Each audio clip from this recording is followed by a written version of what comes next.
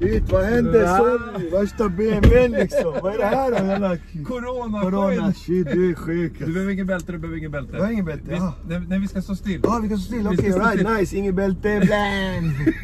liksom Tommy är liksom en förebild för sådana som mig. Som har, jag har ju sjungit själv nu i 37 år. Mm. 14 album, eh, två Grammys, invald Swedish Music Hall of Fame. Och liksom, jag vill jobba med folk som jag själv beundrar och tycker om. Och Tommy är en sån person. Men vem sjunger bäst av Dogge och Tommy Nilsson? Jag rappar bäst, men Tommy Nilsson sjunger bäst i hela Sverige. Alltså han är grym alltså. Det är inte lätt Dogge. Inte, vem som helst kan inte rappa. Är det så? Nej, nej. För Jag har alltid sagt att alla kan rappa. Ett, två, tre, öppna ögonen och se. Chillar ute med Martin Björk i fet BMW. Bla! Vi skulle ju egentligen ha setts i Botkyrka. Ja, jag vet. Jag vet. Ja, och det var helt okej att vi sågs i stan. Ja. Men de flesta jag träffar, Ja. de brukar liksom säga så här, ja men kom hem till mig, vi ses utanför mig. Mm. Men du sa, vi ses på macken. Ja, Albyvägen 1. Det är lättaste. Vi ses på macken Alby. Där man möts när man kommer med bilar och sånt till Alby. Är det så? På, på macken, ja. Det är där man hänger ut. Det är som på landet liksom. Man ses på Vi macken. ses på macken. Roy och Roger har en mack ihop. så att eh, det är där man ser om man kommer bilen. Men tyvärr så flyttas schemat, vissa kan vissa tider. Och... Ja, ja, ja. Så det var inte så att vi skulle ses på macken för, att det var, för att det hade varit farligt för mig att ses utanför där du bor? Nej, nej absolut inte. Det var faktiskt att Tommy Nilsson kunde klockan 11 helt plötsligt och då man kan inte ändra tid. Det är Tommy liksom. Nej, nej, nej, men Björken ändrar du tid på. Men Ja. Tommy Nilsson, nej, nej. Sorry, sorry. Jag ber om ursäkt. Men eh, nu är vi här i alla fall och nu kickar vi ut den. Jag var ju sportsnubben. Vem var du när du var ung? Jag var mycket sport alltså. Var? Ja, mycket boxning och thaiboxning och handboll. Jag spelade Hockey Cliff i Skärholmshallen. Ja. Då var Staffan Olsson stora i förebilden och idolen. Och eh, Vad hade du för position i handboll, kommer du ihåg det? eh, vänsterkanten. Var du, okej, du var längst ut på kanten. Ja, men de var så jävla bra på kanten. Dimman och Bacon tror jag. Så jag var tredje man på bänken.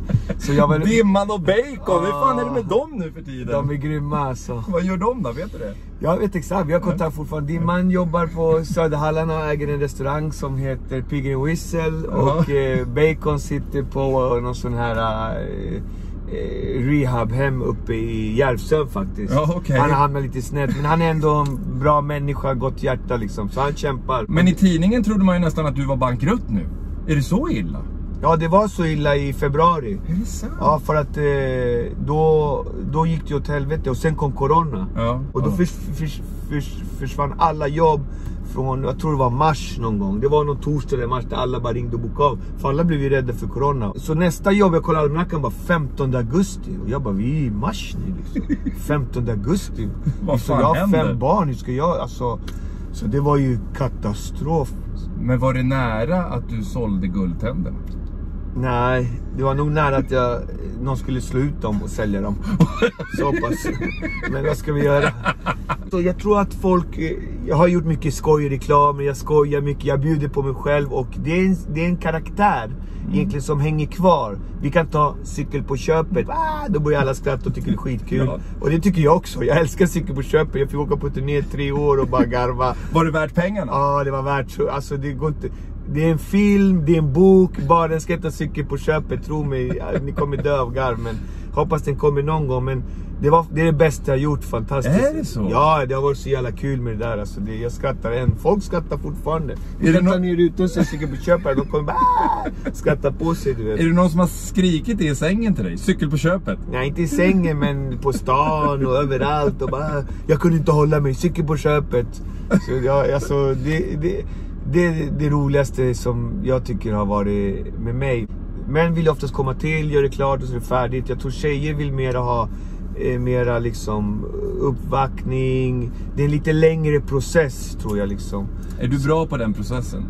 i i början och sen blir jag liksom eh, tråkig som alla andra liksom. Ligger och gnider och det blir liksom inte så roligt kanske för sig. Jag fattar det liksom. I din favoritställning Doggy Style? Kan vara det.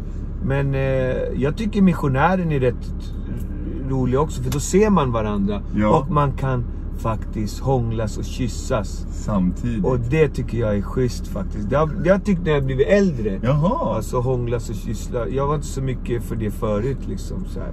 Men du hörde att jag sa Doggy Style? va? Ja, jag fattar, jag fattar. Du, du tyckte inte det var roligt? Ja, men jag har hört den tusen gånger. Liksom. Jag har hört det så många Jag trodde jag var lite unik. Nej men så man reagerar inte längre liksom. Du bara yeah, yeah, yeah. Åh, så trötta frågor. Skulle du säga att du är grym i sängen då? Nej det skulle jag inte säga. Jag är... För 20 år sedan hade du sagt att du var grym. Ja, jag tror det. Då var jag nog grym. Men Jaha, du vet, man blir äldre, man blir tröttare. liksom... Inte, visst, är det trå- visst är det väl lite tråkigt att bli lite tröttare? Tycker inte du det? Jag, jag minns att jag kunde hålla på mycket längre och så här och det kan jag göra nu också men det är inte samma eld skulle jag säga liksom som Nej. man, när man var yngre. Och det kan, det kan jag säga att jag, man saknar lite. Då Mm. fick man vara lite så här macho man, du vet. Man, man fick vara lite så här. "Da-da-da." Ja. Och nu är det inte riktigt. Är du bra på att imitera något? Ja, jag älskar att imitera. Är det så? Ja. Bra, kör! Vad är din bästa imitation? Fan det kommer jag inte ihåg nu alltså. Nu blir jag sådär nervös. Jag brukar... Du pratade ju om macken förut. Ja. De kunde jag imitera lite när jag var yngre. Jag blir Ja. jättedåligt på det nu. Men jag, kan, jag, jag provar den först då. Mm. Ja. Hej då Macken, vi ses imorgon. Det var grym, det var Rippe. Det var inte jag så kanske dåligt. inte var någon såhär äh, göra kändisar, så Nej, jag okej. satt pas- passionen bara. Vilken- Jag känner mig det är Lasse här. Har, har du beställt lite grejer här? Men då kommer vi på måndag och kickar ut den då. Är det Martin Björk? Jaha, ja men då får du hälsa han så mycket. Du vet att jag fixade hans gamla ex förut? Jävlar skön den där Lena alltså. Helt otroligt. Så, Sen är det kanske roligt om man känner Lasse. ja, eller det, det är bara någon jag gör. Ja, det är bara någon du gör. brorsan, vad händer? Vad gör du bra? Du vet, men jag kan göra så många olika, du vet. Har du, har du spelat paddeltennis då? Det har jag gjort två gånger bara. Vad tycker du? Jag tycker det var skitkul. Eller jag hur? borde Det spela mera men jag har inte kommit till skott för jag har inga polare som spelar men Nej. det, det, det är det nya stora. Det kommer Ja. bli så stort alltså. Jag får, jag får lösa det till dig. Jag är Ja. delägare i tre paddelhallar. Ah, så du får shit. komma och spela i Jag vill bli delägare för ni tjänar så jävla mycket pengar på det där alltså. Va? Kan skriva in Dogges paddelhall så får jag någon procent. Då kommer ju alla bara komma där, de kommer ju sno kommer allting. sno all racket. Nej, vi har inga rack kvar, de har snott alla. Vad hette han? Dogge? Det är jätteroligt. Eller så blir det jättebokat istället. Ja, så kan det också vara. Dogge bytte namn till Doggeborg. Istället för Björn Borg. Vad tråkigt. Jag orkar inte, det var jättetråkigt skämt. Ja. Jag tänker inte ens skratta. När, du, när du är på badhuset, Mm. duschar du med badshortsen på då? Nej, Nej. Varför det är ju äckligt ju. Man måste ju tvätta sig ordentligt liksom. Jag vet. Sen om någon vill titta, varsågod titta. Jag bryr mig inte. Men det, det är som det är liksom. Skäm, be, behöver du skämmas i duschen? Nej, absolut inte. Jag skäms inte. Jag har så mycket tatueringar och annat skit att titta på så. Jo men jag tänkte att... Jaha, du... jo men jag tänkte mer om du behövde liksom skämmas för han där nere. Nej, nej absolut inte. Nej, nej, nej, nej. Jag, nej jag, jag duschar helt öppet och Ja. jag brukar inte hålla på och gymma och sånt där liksom. Nej, nej, det nej. kan vara jobbigt om man inte Men duschar kanske- du så här Dogge? Står du så här? Om du ser, titta jag har svettring. Ja. Står du så här när du duschar? Eller vänder du ryggen till så att säga? Både och. Jag duschar hela överallt och Ja, okej. vänder mig överallt liksom. Ja. Och sen bastar också på det också. Ja, ja, ja. Så jag är inte, jag är inte blyg eller någonting och skäms inte för något. Liksom. Nej. Man ska vara glad över det man har fått och det som Gud har skapat. Och som morfar sa, det man inte har i byxan, det har man i garaget. Eftersom jag inte har någon garage så har jag det i byxan.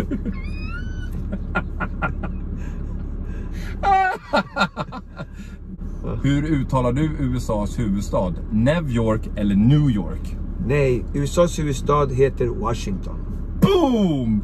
Ja, den var bra. Den var bra. Okej, men hur, uttalar du, hur säger du ananas på engelska då? Ön ananas eller ö ananas? Uff, vet du en sak? Jag skolkade den på engelska lektioner. Jag vet inte vilket som är rätt. Vad tror du då? Ön ananas eller ö ananas? Heter, det låter, båda låter konstiga alltså. Va? Jo, men någon borde ju vara rätt. Ön ananas eller ö ananas? Ananas. Hey please can I have ö, ananas? Jag tar den då. Vilken det var? Var det ö eller ön? Ön. Ön ananas. Nej, det var den andra. Ö, ananas. Är du säker? Är det ö Ja, jag är ananas? säker, jag är säker. Jag vet inte. Jag vet faktiskt inte. Jag hade kryss på engelska och min engelsklärare hette Lotta. Så Lotta hoppas inte du ser det här. Du vet att det var knas redan då. Ja. Give me a fucking piña man. Yeah, that's one, the yellow one. Jag tror inte Lotta hade gillat varken ön eller ö Nej, ananas. båda var karglas, eller hur? Ja. Jag sa ju det från början. Det heter pineapple. Ja, så. Pineapple ja, så heter det ju. Och Jag hade sagt piña som jag sa, piña ananas. Uh, Men du har inga glasögon. Nej, inga glasögon. Du ser helt... Jag ser jättebra, Du ser jättebra. För ja. jag, jag tänkte... Du ser, jag, ser- jag ser jättebra. Jag ser att tiden så telefon, står det- telefon. Du kan läsa i telefonen. Alla Allt, sms. allt, allt. Minsta storleken. Ja, Perfekt ju. tack så mycket. Va? Grattis. Ja, det var min mormor som sa ät mycket lök och fisk så kommer du ha bra syn när du blir äldre. Du... Sen blev hon själv blind. Förlåt. Ja, men det Förlåt, var, jag skrattar. ja, det, var det hon Nej, sa. vad liksom. sorgligt. Ja, det var hon, på slutet liksom. Men det var det, det, var det hon sa. Sen blev hon själv blind. Ja, Jättesorgligt. men Vad vill du aldrig höra i sängen? jag vill höra allt. Så det finns nog aldrig. Jag vet inte. Har du Eh, sagt fel namn i sängen? Nej, jag tror inte det.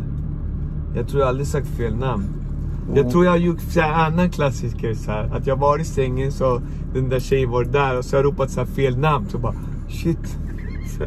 Att man har ropat fel namn bara. Susanne, tar du med dig Coca-Cola? Ja, ja, bara, Jag heter Inger. Ja, typ den där. Men det var när man var ung så här. Bara shit. Men jag trodde du hette Inger. Ja, det var väldigt roligt om du var ihop med en tjej som hette Inger. Ja, Dogge och Inger. ja det här var kanon ju.